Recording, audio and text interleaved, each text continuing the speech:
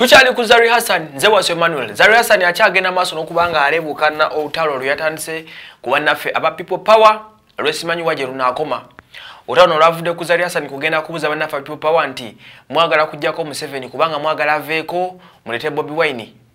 Oba bobi wine ali credible. It was like do you want to bring bobi wine because heis credible o mwagala museveni agende bugenzi?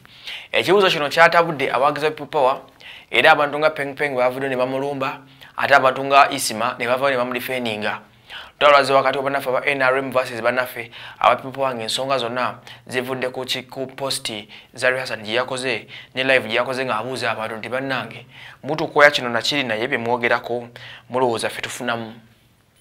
Oba okitegeera so um, abantu bangi bavuddeyo nnyo abamu bamubuuza how do you judge credibility pengpeng nambuuza nti gwe bwafuuka ambasada ani yapima credibility yo. Twagirabirawa namulangira ebigambo byonna byomanyi azaliasa uh, naddayo omukutu leero naddamu n'abagamba mulekerawo ba intimidatinga balina okuba neddembe nga banauganda okwogera ku kyebaagala oba okitegeera nagamba nti no one alina right mu nsi muno okulemesa omuntu okwogera ku kyakola ki?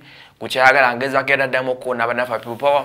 Omuliro guli mukwaka ku social media kuno wakati wa people power versus zari hassani versus nrm oba kitegeera yavudde nabagamba nti mulekerawo tisatisa abantu buli muntu alina eddembe okwogera kyagala. Yabadde opinioni n'abuuza bobi wine alina credibility oba alina obusobozi uh, credentials zonna ezimusobozesa okufuuka president oba mumuleeta buleesiga dibe nga lye kaa abantu totulabanga bali kuli bamuwemula bamuvuma kino nakiri bamulangidde kitaawe bamulangidde bajajjaabe bamulangidde famire mwava bamulangidde wamala bamulangidde buli kigambo ekibi n'asigala nga abakuba omugo ku mutwe n'abagaba naye munanvuma bwe mmalanga nywa champagne wange bwe mmalanga nywa emyenge gy'ebbeeyi muŋŋamba ki? Oba okitegeera. So